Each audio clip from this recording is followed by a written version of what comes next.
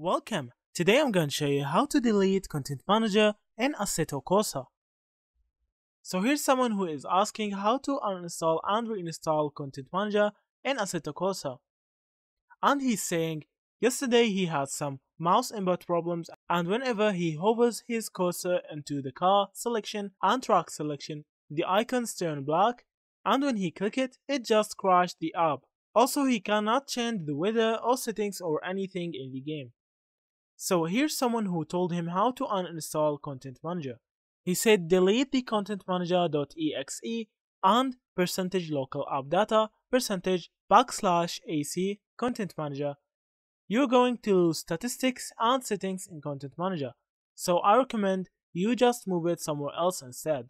Also, here's someone who applied to what he said and told him to save settings stats.